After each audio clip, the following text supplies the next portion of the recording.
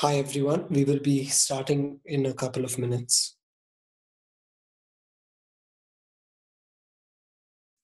Kindly requesting you all to remain muted throughout the call and please do not draw on the screen.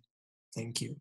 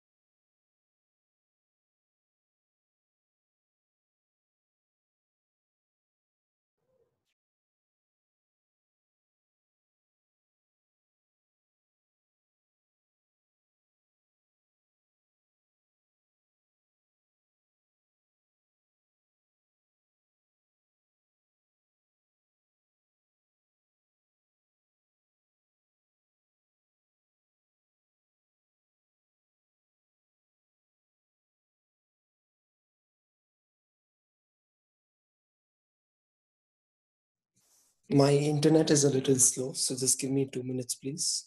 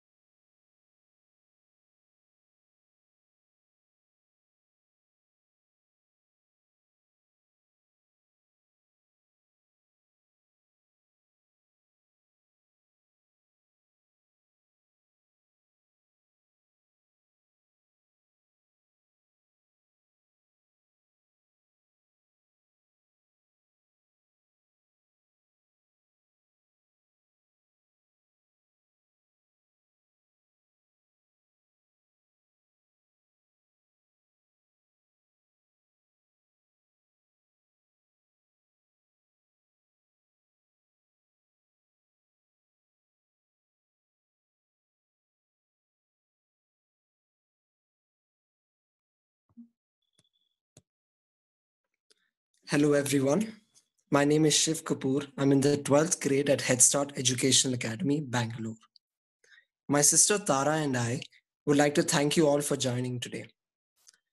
We saw this lockdown as a great opportunity to help students by bringing professionals from various domains to expose us to a spectrum of careers.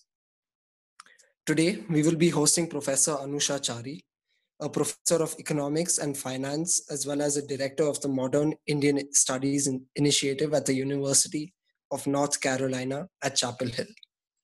She is also a research associate in the National Bureau of Economic Research, International Finance and Microeconomics Program, and a research fellow at the Reserve Bank of India. Professor Chari received a PhD in international finance from UCLA and a BA in philosophy, politics, and economics mm-hmm. at Balliol College at Oxford and economics at the University of Delhi. She has held faculty positions at the University of Chicago's Booth School of Business, the University of Michigan, and the Haas School of Business at Berkeley. She is a special advisor to the Indian Prime Minister's Economic Advisory Council and a member of an advisory, advisory group of eminent persons of G20 issues. Before we let Professor take over, we would like to inform you all about our housekeeping rules. Firstly, kindly keep yourselves muted and keep your videos off for the entire duration of the session. Secondly, shall our speakers share screen? Kindly do not annotate or draw on her screen. And lastly, any questions you have for the speaker can be sent to us in the chat box. We will use the second half of this session to pose your questions to the professor. Thank you. And professor, you may take over from here. Thank you so much, Shiv and Tara, for inviting me to this very enterprising career talk series. It's a pleasure to be here. Uh, so what I'm going to do is I'm going to share my screen now and walk you through uh, a little bit of, um, hang on one second, uh, of a career in economics. And at the end, I hope that you will take this opportunity to ask me uh, questions. So uh, let's start. Um, so the first thing I would like is to ask you all a question. And don't think too much about this. Just think about what are the words or word that comes to mind when someone says economist. So what I'd like you to do is I would like you to write this in the chat box and I would like Shiv to share this with me to see what are the words that you can write down. So it could just be one word or many words. So why don't you quickly write down what comes to mind when you think of an economist?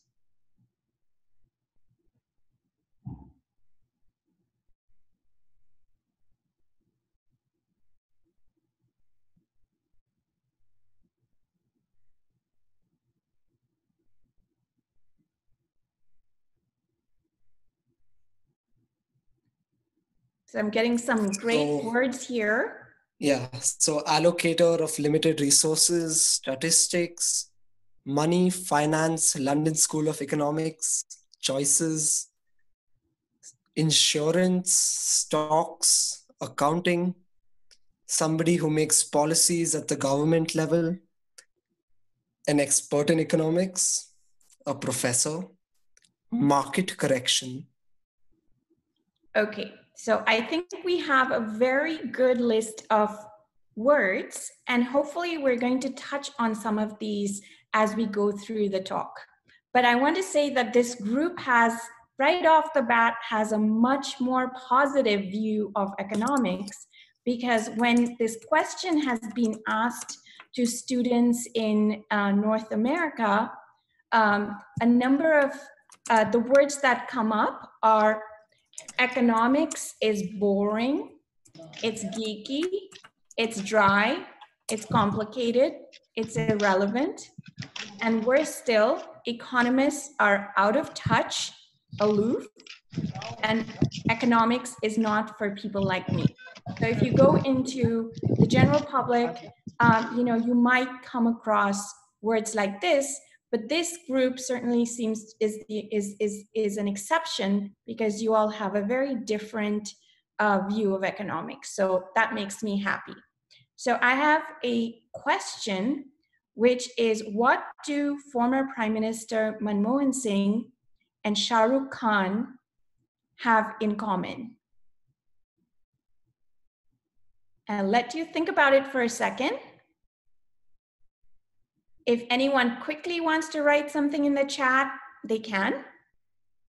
Exactly. So Arjun um, and Dia and Vijaya, both, all three of you are exactly right that all, both of them have undergraduate and um, of course, uh, Dr. Manmohan Singh has a PhD uh, in economics.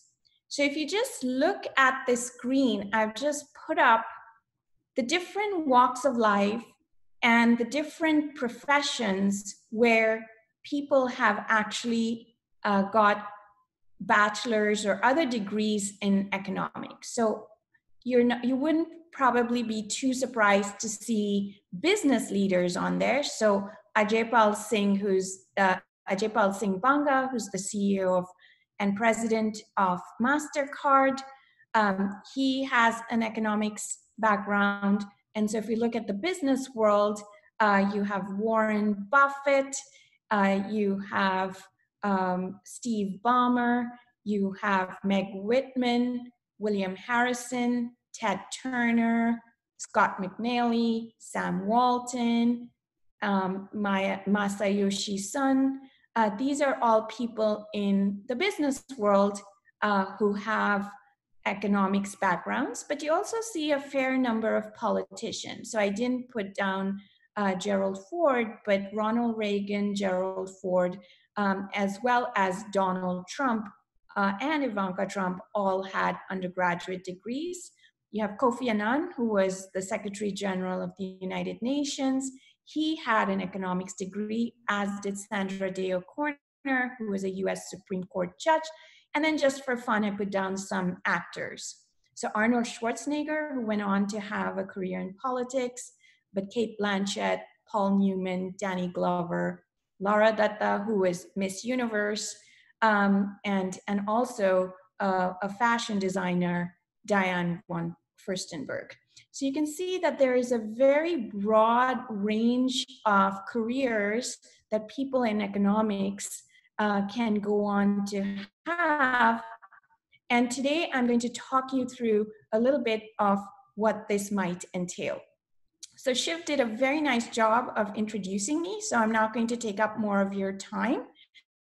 But you can see that, um, you know, he went over my education, my current position, um, one thing I wanted to point out is that not only am I a research fellow at the Reserve Bank of India, but because of the work that I do in macroeconomics, I'm invited by central banks around the world, which is the RBI equivalent in other countries, including the Federal Reserve, the Bank of Canada, the Bank of Korea, the Hong Kong Monetary Authority, the Bank of Mexico, uh, the central banks of Argentina and Chile, and so on. So, because I'm an international economist, um, I have associations with all these organizations around the world.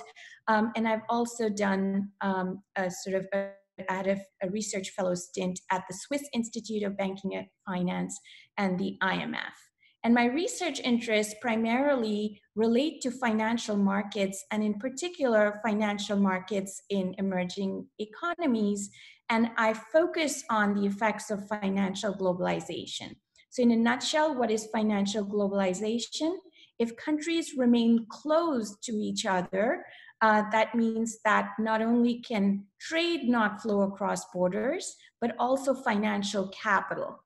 Financial globalization entails opening up markets to foreign investors so that foreign investors can invest in stock markets, bond markets, foreign direct investment, and so on um, across countries. So if I wanted, I could buy shares in Sony in Japan or Reliance in India or any, you know, a lot of companies around the world. And that was not always the case uh, till about, you know, the late 80s, early 90s that's when countries really started opening up and capital started flowing across borders. I also study international mergers and acquisitions, and I have a uh, research agenda in in in um, on the Indian economy. So, uh, what I'd like to do in this talk is to begin by telling you a little bit about what do economists do what kinds of questions do economists ask? What tools do they use to answer these questions? And what careers follow after an economics degree? And then we'll end with a little bit of how much does a typical economist earn? And um, this is going to be from a US perspective, but it just sort of gives you an idea of the ranking of um, economist jobs uh, in in across uh, in economy. So that ranking, uh, we sort of see that um, actually also holding up in other countries. So, what are the questions that economists ask? Some of you brought up important points about financial markets insurance, the stock market, and so on. But economists also try to answer some very fundamental question about why some countries are rich and some countries are, are poor, which essentially points to what are the factors that make some countries grow. And in particular, will countries grow faster if they implement and sustain certain types of reforms? So, can governments implement policies that will help countries grow faster? And if they can, can we pinpoint what these policies are? And how do we go about judging whether these policies and reforms are successful? We basically have to bring data and statistical methods to bear on trying to answer these questions. Other fundamental questions are well, it's all very well for countries to grow, but is this income equally distributed across different strata in economies, or do we see a lot of income inequality, which is basically uh, a few people in the economy are doing very well, but vast swaths of the population are very poor. So, how do countries line up uh, when we think about income inequality? Once again, we can bring data and models to bear to answer these questions. From a business perspective, economics also offers many tools to try and understand how do firms maximize profits what is the competition analysis that they would need to do? How can they combine labor inputs, which is workers, and capital inputs, which is factories and machinery, uh, to maximize profits by using the best technology that is available to them? How do they see what their competitors are doing? How can they gain market advantage? So, from a business industry perspective, industrial organization is a field of economics that helps us understand uh, answers to some of these questions, once again, by providing analytical models and bringing data and statistics to bear. At the household level, we are using economics all the time. So let me sort of give you a quick example. Let's suppose I'm assuming, given that most of you are in high school that you're not drinking coffee yet. But perhaps your parents do, and maybe some of you do as well. So when you go into a Starbucks or a Costa Coffee or a um, or a coffee day, what are what are the choices you make in terms of buying a cup of coffee? Why did you choose a latte or a cappuccino versus a filter coffee? Did you sm- choose a smaller size and add an additional shot of espresso? Did you bring a reusable cup or a loyalty card to get a discount? Why didn't you get a tea? Or why didn't you just make it at home?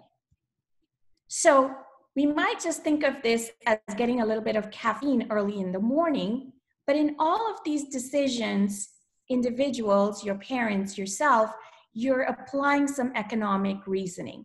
And what is that economic reasoning? You weight up the costs against the benefits along with what are your preferences and what are the incentives. Is Starbucks giving you an incentive to buy a bigger cup of coffee? Is it cheaper if you get a bigger cup of coffee? And you've weighed all of these economic choices in order to make the best decision for yourself.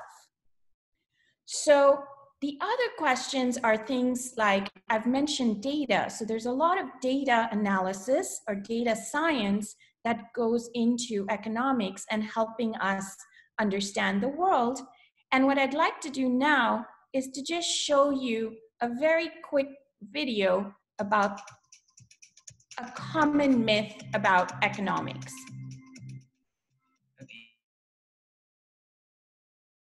Economists from around the globe to discuss their research. My name is Giorgio Presidente. I'm Alexa Preman. I'm Fabian Kleinman. Brittany Wiltshire. But before we let them go, we had one final question for each of them. What was one myth about the economics profession that they wanted to dispel? Yeah, I love this question. In my experience, there is one false myth about economists. Uh, there are some myths about uh, being an economist out there. Um, I think my favorite myth is that economists are just all about money. They primarily think that I work in finance. With my family, they all think that I work in finance. To someone that deals with uh, monetary policy, interest rates, banks.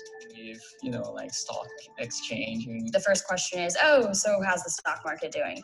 They'll ask me for stock tips. People ask ask me what stocks they should buy and which stocks should I bank on. Well, probably the only reason for us to exist is to predict the stock prices. It's just tell them, well, I have no idea. It's not my wheelhouse. I would love stock tips too. Unfortunately, we're actually doing a very poor job at that. Uh, they must confuse what we study with uh, business studies or they're taking us as entrepreneurs. Uh, we know that that's unfortunately not the case. It is a myth. It's not how we do things. We study people making choices. So I like to think of economics as the study of how people make decisions under scarce resources such as time and money. Economics is actually the study of behavior and decision making, right? So you actually can find a lot of economists who study the topics of crimes, health, and education too.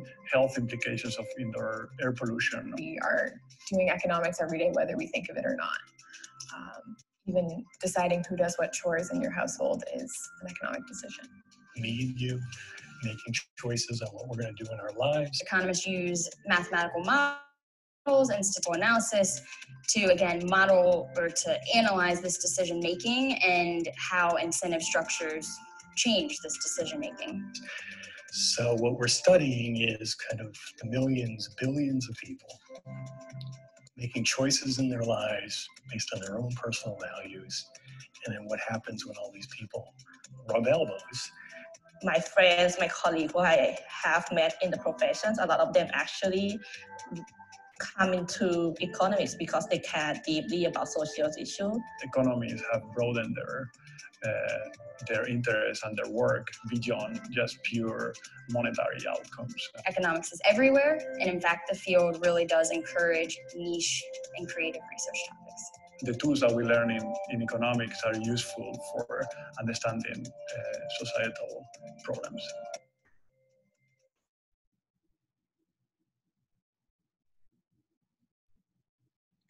So hopefully you found that video illuminating. But let me just sort of summarize some of what we saw over there by talking about how economics can be defined. So economics can be defined in a few different ways. And as the economists on the video mentioned, it is the study of scarcity. Of course, we would all love unlimited resources, but we know that this is not uh, realistic and most of the time, we have to make decisions based on limited resources. And therefore, economics studies how people re- use resources and respond to incentives or the study of decision making. So it definitely involves topics like wealth and finance, but it's not all about money. It's a very broad discipline that helps us understand historical trends or what we can learn from past episodes of, say, financial crises. How do we interpret today's headlines? If we open up our textbook, uh, our newspapers, or, or sign into the news, how do we make make uh, try and interpret or make sense of what the inflation numbers are, what unemployment is, what interest rates are, how the economy is growing, and as well as using all of this and statistics to make predictions about the coming years. So, for example, India is the fifth largest economy in the world, but predictions or forecasts using data suggest that in about five to 10 years, it might be the third or fourth largest economy in the world. So, how do we make these predictions? And economics ranges from the very small or micro individual to the very large, which is the economy as a whole or the world economy. And so the study of indiv- individual decisions, whether they be by people or firms, is called microeconomics, where the study of the economy as a whole is called macroeconomics. So a microeconomist might focus on a family's credit card debt uh, whereas a macroeconomist might focus on sovereign debt. So What do economists do? They use these mathematical models with statistical analysis or empirical data to evaluate programs, such as if we start offering school lunches, will free school lunches, will attendance in rural schools go up? Study human behavior. Why do some people save a lot whereas others don't? Explain social phenomena. And therefore, economics often intersects with many disciplines and they include social sectors like health or education, but also environment, gender, immigration, which is the flow of people across borders. So I'm not going to get a chance because we don't have that much time, but I have included this link. And if you're interested after this talk, what you can do is you can go to this website and there are many, many different types of short videos that will give you a sense of what economists do and what you can hope to get out of an economics undergraduate degree. So let me sort of go to this question directly, which is to say, I want to study uh, economics, but what are you going to do with an economics major? What kind of background in economics prepare you for, and where are the jobs? And what are the skills? We've already talked a little bit about these skills, but what are the kinds of skills that are most important for students who want to pursue a career in economics? So, the American Economics Association points to five broad areas that draw econ majors. So, people who have an undergraduate degree in economics. So, this is the corporate world where you see econ majors getting jobs in management, finance, or sales positions. And eventually, a lot of econ majors go on to get an MBA. Economic consulting draws a lot from econ majors simply because econ majors are trained in using analytical models and statistical methods to analyze data. So if an economic consultant is called into a company where profits are lagging, you want people with an analytical mindset and the ability to use statistics and data to help the company figure out why their profits are lagging, for example. So, economic consulting firms like McKinsey and so on seek econ majors to analyze data and develop economic models. You might be a little bit surprised, but there is a big intersection between law and economics, and econ majors are also consistently amongst the highest scoring students on the LSAT, which is the law school admission test. Government and nonprofit work, um, the Federal Reserve, which is the RBI equivalent, you might be surprised, the CIA, the World Bank, the IMF, international institutions. All of these agencies employ economists. And finally, people like myself who are in academics and research, who teach and conduct research and try to make important contributions to the field of economics.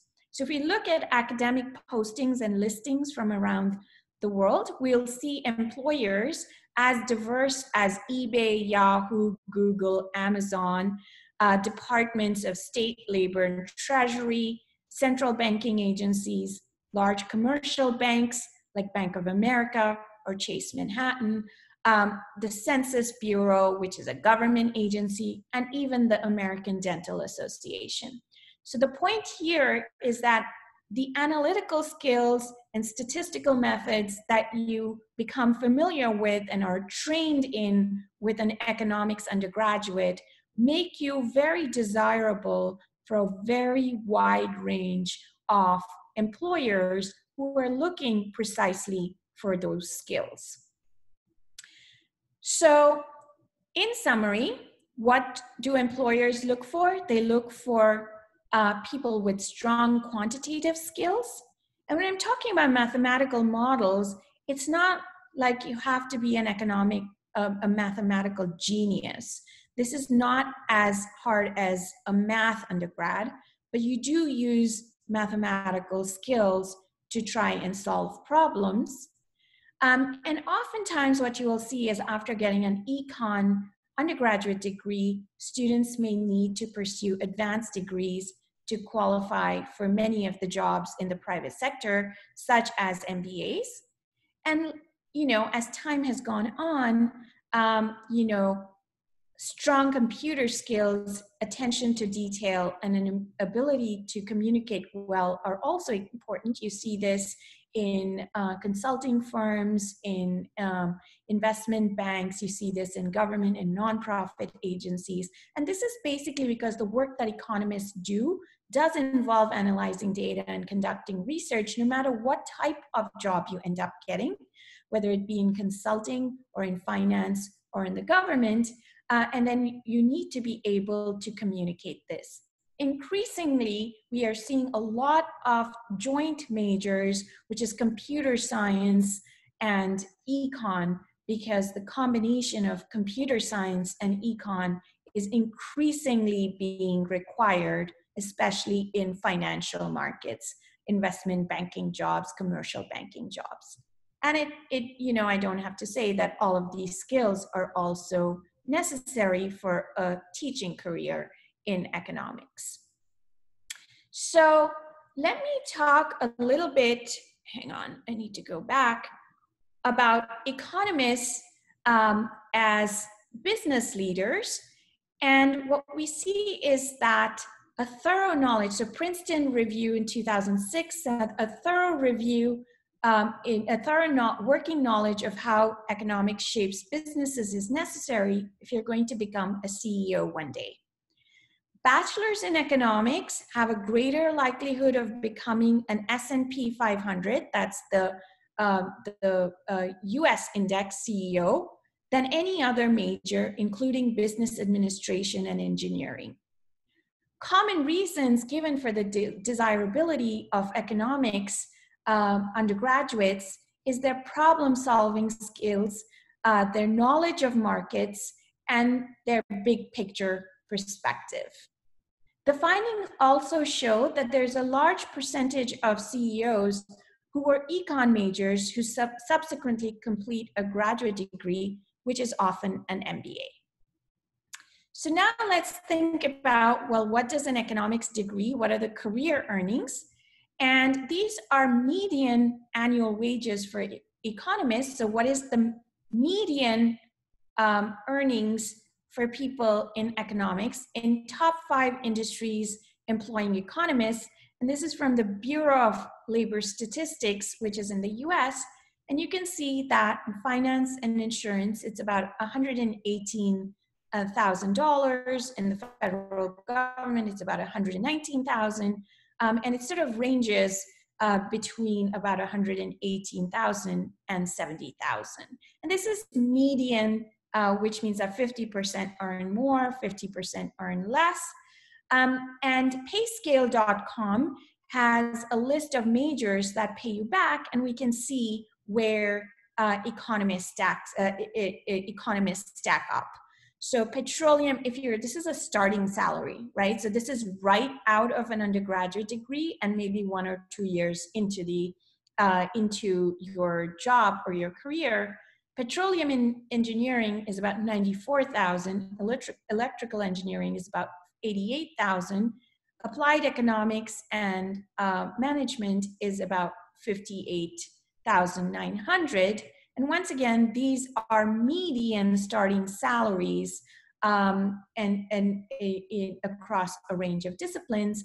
And then the second column basically shows us mid-career, which is five to 10 years into being um, in, in, in your profession.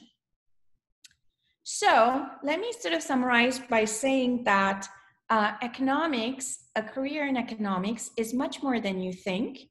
And this is a, a brief educational video developed by the American Economic Association, which will be int of interest to students if you've ever wondered about what are the different types of fields that have used economics. So I'm just going to show this to you for a few minutes because it goes on for about eight minutes.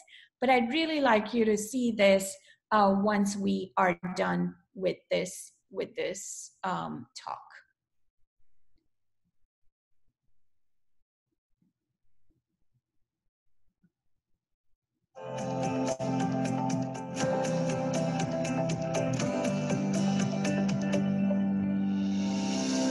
Many people have misconceptions about economics. I think the people closest to you hear that you're studying economics and they might say, what, what stock should I invest in?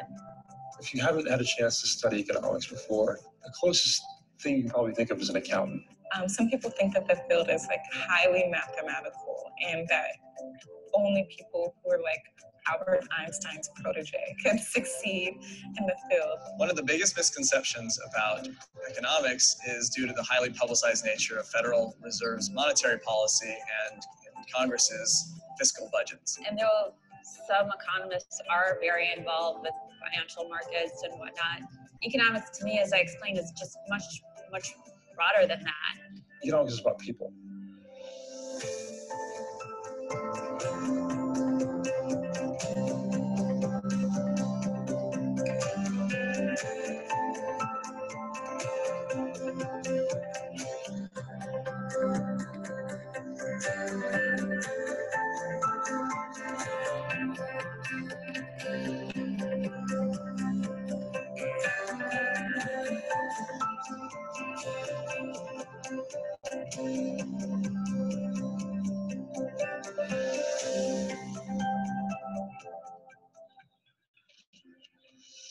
Growing up, I always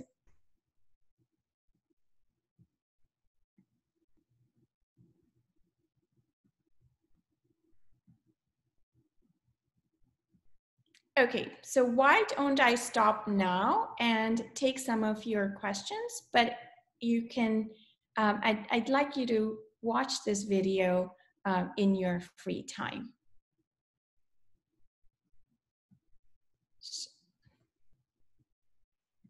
Uh, just give me a second, just collating the questions. There are quite a few. Um, so guys, um, for those who are interested in watching the videos, uh, I will share the links on the WhatsApp groups after the call. I can also share my PowerPoint with you, so then you can all, you'll have it all in one place. Okay, that would be great if you can do so, Professor. So, Yeah. so Professor, we will be asking one question at a time. I will be asking on their behalf and then you can answer them. So the first question is, how important is math to a career in economics? So I would say that a career in math, a, a background in math is definitely, um, definitely needed because a lot of our analytical tools are use mathematical constructs, right? So calculus is used, algebra is used, um, and then, and then we also use statistics. So, but as as somebody in that video said, you don't need to be a math genius to do economics. Even if you have a high school level of uh, math, so if you understand a high school math, uh, you should be you should do just fine, right? So a lot of us, that's what we have. We have high school math, and then maybe in your undergraduate, you might supplement. Uh, if you go to a liberal arts school, um, you might supplement with a little more math, but pretty much high school math is what you need um, uh, calculus and algebra. What are the pros and cons one should consider when choosing between a BSc in Eco and a BA in Eco? So BSc in Eco and BA in Eco, this is just a question of how uh, universities classify uh, economics, right? So bachelor's uh, BA in Eco is if the um, if the econ degree is considered to be part of arts, which is the social sciences. But because of its heavy use of math and statistics, um, economics is often classified as a STEM field. What is STEM? Science, technology, engineering, and mathematics. So when economics gets classified as a STEM field, depending on the school, um, then what you end up getting is a Bachelor of Science. So I'll just tell you at UNC, we have recently reclassified our econ degree as a Bachelor of Science because once you have a STEM degree, a lot of countries consider these as very essential uh, skills that they need, and it becomes easier uh, for people to market their skills if they come from a STEM background. The next question is Is it difficult for a pure math bachelor degree person to catch economics in the post graduation?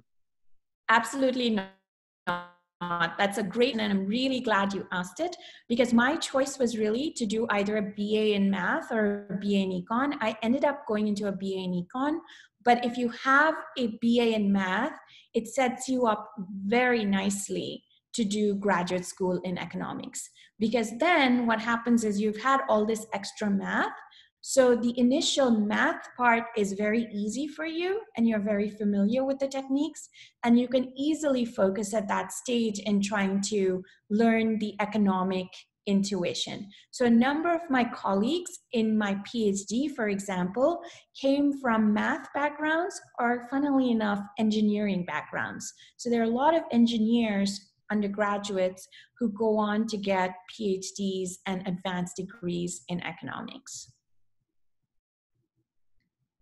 Our next question is What are some of the computer programming tools one would require to get into the field of research in economics? So at the moment, so this changes, right? So when I was getting my degree, there were different computer programs. But right now, I would say things like Python, because we're doing a lot of big data analysis that's becoming very popular in economics. So Python, R, and so on. So these are some of the statistical programs that, that are used, uh, math um, and um, and uh, that and MATLAB that's used for a lot of the programming. Stata is used for a lot of the statistical analysis, but Python is is is is increasingly very very uh, popular. And as I mentioned, if you have you know you can come into and be doing an econ major, and if you take courses in computer science in parallel that can also be very helpful if you're trying to get a job afterwards. What is your opinion on the field of consulting and what skills do you feel are necessary? So I, I gave you one example of what uh, consulting firms are looking for. So what do economic consultants do? They go into companies which are trying to change something, right? They're either trying to increase their sales, they're trying to figure out why they are lagging behind their competitors. They're wondering whether they can take their existing workforce and um, employ them in a more productive way. Are there ways in which we can increase our profits? Or they're trying to launch new products and they're trying to figure out what their niche might be uh, they're trying to figure out opportunities in the market. And so, on the one hand, economic consultants work very closely with firms to analyze, um, uh, develop analytical models to analyze these questions and to answer them. And as I mentioned, a lot of times, if you have to do competitor analysis, what are my, what is my competition in my industry doing? You're going to need to use data to figure out what's going on if you're trying to enter a new market, you're going to need to know that. But economic consultants also work closely with governments. So, governments that are trying to implement uh, sort of changes in education, in the school system, in their hospital systems, um, you know, economic consultants get invited into a very, very wide array of, of industries and fields.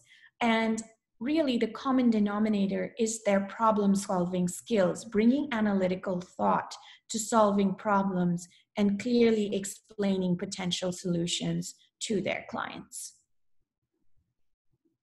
So the next part of the question was what are some of the skills you feel are required? Required for what? Um, consulting. So I, I just mentioned them, right? So it's analytical skills, mathematical uh, or mathematical analytical problem solving orientation, the ability to do data analysis, and also uh, importantly, um, you know, be able to extract the big picture, right? And be able to present that good communication skills because oftentimes consulting firms have to present their findings and communicate their findings to top levels of management. So excellent communication skills um, is another requirement. So one thing, I don't know if, this has come up, but if you guys get an opportunity or have uh, have not had an opportunity, I would highly recommend doing a public speaking class. So you know, if you're doing debating, you get some of that, but it's really important to be able to speak clearly and communicate. Um, and that's something that I advise all of my students to do is to take some sort of public speaking course. Our next question is, could you suggest some summer economics readings for incoming freshmen? Um, sure. I mean, I, I, I, you know, one thing if you haven't read about, which is a fun book, is Freakonomics, but I can put together a list of five or 10 readings for you guys and uh, send it to Shiv Tara. Okay, guys, so we'll share them on the group once we have it in our hands. Our next question is what level of competence do you need in computer science to club it with economics? So I think you need, um, so I'll tell you why you need computer science because it used to be that in investment banks, you had the MBAs who were the in the front office. They would be doing all the deals, they would be handling the clients, and they would uh, be doing all the business development and client relations parts of the job. So basically, these were MBAs who looked good in suits, and they were in the front of the front in the front part. And in the back offices, you had the physicists and the hardcore, what they call quant jocks, who are basically people who are very, very good at computer science and mathematical modeling. But increasingly, what's happened is that you really need to be able to extract data and do data analysis. Um, and in order to do that, given the fact that we're dealing with so much big data, right? You just have so much data to um, to kind of work with uh, you almost need a data scientist in order to be working in an investment bank. And so that is the level of computer science knowledge you need, which is would you be able to go in and quickly write a program to extract data? And would you be a, comfortable enough with computer, computer um, uh, science modeling uh, in order to do data analysis? So it's not like you're going into a tech field that's not the level of competence you need but you you know a few courses in computer science. And that's what we're seeing at our school is that a number of students do these double majors in uh, economics and computer science which is they would have five or six or seven courses in computer science.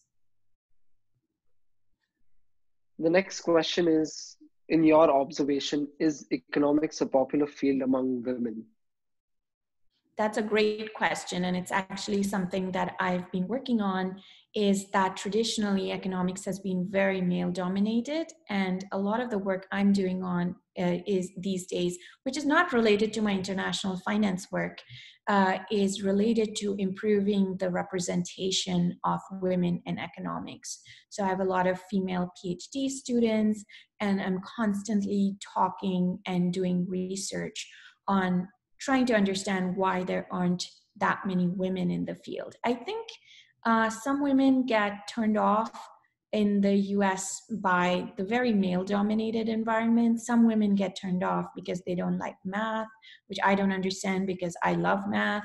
Um, and um, so there are a variety of reasons. The other thing is there's some myth about women don't like making money and women like to help people. And so they end up working in education or health or something like that. And, you know, men end up going into financial markets. And that's a complete myth. Um, it's not that women are not interested in, in, in wealth accumulation or making money. And I just think that more women need to come into economics because they bring different perspectives and economics suffers if there isn't diversity The next question is How difficult is it for someone to study in a completely different stream? So that's a very good question, right? Like nothing is written in stone. In my uh, in my opinion, um, you can always, if you decide to do something. So I know some people who were like political science undergraduates, and they had a little bit of economics, a little bit of math, but they didn't actually hadn't done economics, right? They'd been doing something completely different. Um, so then what we recommend to these students is take a year and uh, build up your math skills. Let's say you don't have maths uh, because you do need the math. So take a year and build take a few courses in mathematics. And now you can do a lot of this online as well. Take a few courses in mathematics and statistics so that you have the analytical toolkit and then you can go into say uh, say you already have an undergraduate degree you can go in and get a, a master's degree in in in uh, economics. But in order to do that you would really need to tool up in terms of your math and statistics skills what do universities look for in an economics applicant um, so I think um, I'm saying this again, sort of analytical skills um, and problem solving skills and the background, right? So you need the math and the statistics in the background. But what they're also looking for is what are the kinds of questions you want to answer with economics. And that is why I would sort of try and think a little bit outside the box of just financial markets and stock markets. And go and look at that link that I'm going to send you from the American Economic Association and look at the very different uh, types of questions and fields, ranging from mobile banking to um, education and health, that um, you know economists use our tools to answer these questions. So something like trying to solve an important problem either in the economy or in a society like the environment people are there are a lot of people who are now studying environmental economics so something that shows that you're thinking about the world's big problems what are our major challenges at the moment and how you think you can use economics uh, to solve that so if you can show that you are creative in thinking about economics um, and you have the kind of math and statistical background, I think that colleges would find that type of application very interesting, something unusual. So our next question is regarding colleges in general. What are some shifts feel will happen due to COVID-19? Um, in in what?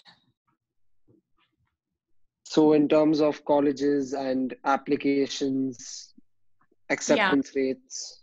Yeah. So right now, unfortunately, we are living in a world of deglobalization and there's a lot of sort of anti-immigrant sentiment in the us for example um, and also in the uk and so on so um, you know because of covid-19 for example we're, we're we're having a very hard time getting visas right? All the visas have stopped.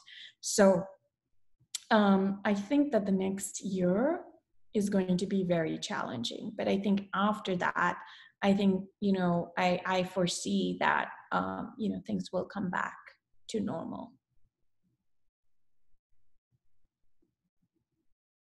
So, Professor, we have around 10 minutes left and quite a few questions left. So, maybe do a rapid fire or a quick response round. Okay. So, our next question is Would a double major in economics, maths, and a minor in com science be a, the ideal option for someone looking to do a career in economics? I think that would be a winning combination. Can a pure math person find it easy to learn actuarial science? Absolutely. How important is accounting to become an economist? I, you know, if you end up doing finance, so that's another thing I, I, I didn't mention that, that, you know, um, there are a lot of undergraduate uh, people with undergraduate degrees in economics who go on to get a master's in accounting. So you don't need accounting coming into economics, but it definitely feeds into accounting and um, actuarial science and so on. Actually, I have a PhD student right now who, whose background is actuarial, actuarial science. So the next question is more general, which is in the current situation, more people are losing their jobs. How has this affected economists? So I think economists are lucky we're we're not losing our jobs, uh, just because that's one thing I want to point out is that the more skills you have, um, the harder it is for you to lose your job. So I'm I'm a professor. I have tenure, so I have job security. But um, um, economists, it's it's it's very interesting to see that it's the low skill workers, the restaurant workers, the people who work in low skill service jobs who are the ones who are asymmetrically hurt by this crisis or any sort of recession. Those are the those are the people who end up losing their losing their jobs. What are some traits you find in finance and basically finance students and finance majors um, they tend to be confident. Uh, they tend to be very hardworking. Uh, they tend to be very diligent. So, you know, whenever I teach my undergraduates in business and finance, um, they're just very, very impressive people in terms of their knowledge of current affairs, their dedication to learning about finance. They do internships and they're very dynamic and i think that's one thing. I one word would be go-getter uh, if i was to use um, a, you know an adjective for a finance undergraduate. Um, and that's one thing i want to just say that you shouldn't be shy you know don't don't sit back. If you want something go for it. Um, that's one one piece of advice i wish that i had been given when i was your age that don't don't hold back. Just go for it what is one skill you would tag to becoming a successful economist?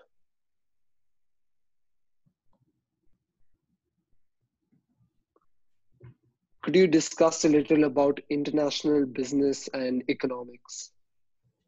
Sure. You know, a lot of my work is on, um, you know, globalization and multinational corporations and how the nature of production, when I was growing up, you know, different countries just produced their own goods and all of their own goods and they just traded a little bit, especially developing countries like India. But now we just value chains, which means that the nature of business has essentially become global. So if you look at Apple's um, you know production of an iphone it's you know there are dozens of countries that are supplying different parts of the input that's finally put together starting with you know the design and intellectual property in the us the semiconductors come from the chips come from korea the assembly takes place in china and that's just one one example.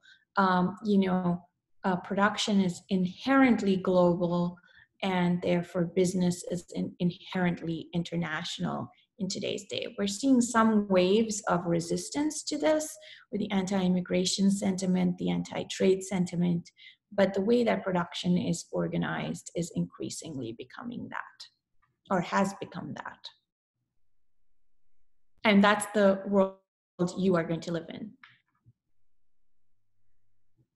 So with that, okay, there's one last question other than an MBA in finance, which are the other fields that you would suggest for finance students? I one thing I suggest is getting a master's in finance. Um, it's cheaper than getting an MBA. Um, it's you know usually a year you can get. Some schools have a year. There are lots of schools that have very good masters in finance or financial engineering or different kinds of finance related masters. So if you don't want to get a full fledged MBA, uh, that is definitely a way to go. Okay, my apologies. One last question has come in. Okay. In countries like India, how can microeconomics help even the last person in the value chain? Can you give examples? Absolutely. I mean, if you think about this year's Nobel Prize that went to Esther Duflo and Abhijit Banerjee, all of their work has to do with microeconomics.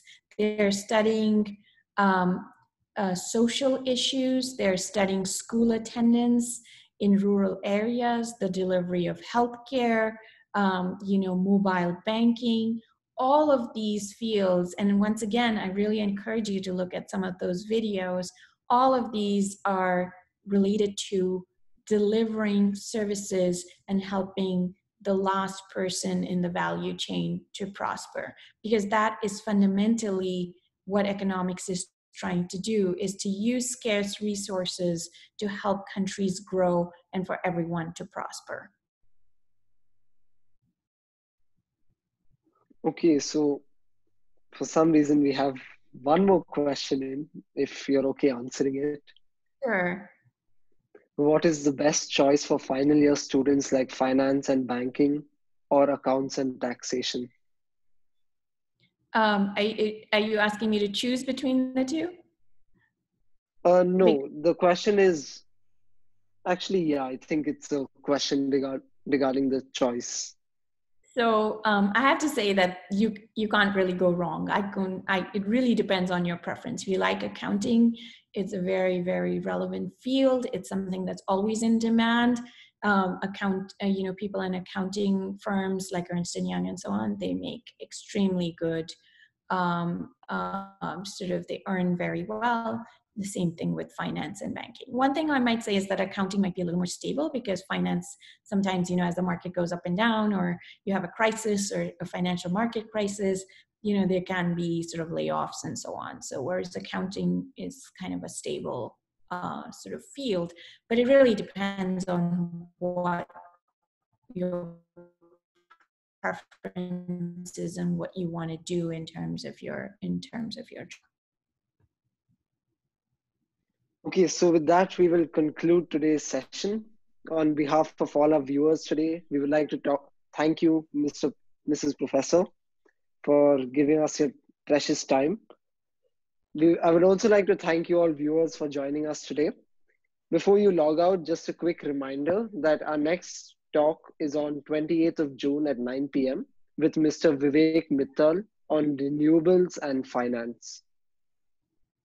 Thank you, Shiv. Thank you, everyone. It's been a pleasure. Thank you all. Thank you, Professor. Thank you. Have a good evening. Bye.